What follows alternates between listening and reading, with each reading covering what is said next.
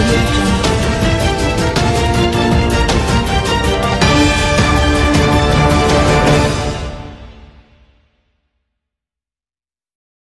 Good morning, viewer. Biendas here. Here's breaking news. Yeah, the disengagement of Indian and Chinese troops has begun at two friction points, Demchok and Depsang plains, in the eastern Ladakh sector. According to defense officials adhering to agreements between both the sides, the Indian troops have started to pull back equipment to near locations in these areas.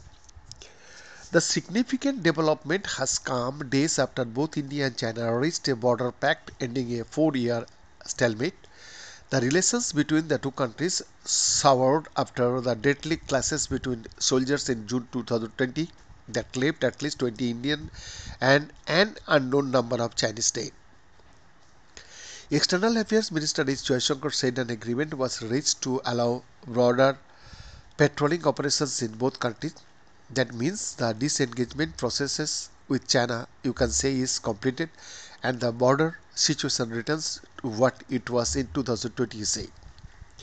On Wednesday, October 23rd, Prime Minister Narendra Modi and Chinese President Xi Jinping met on the sidelines of the BRICS summit in Russia in their first bilateral meetings in five years.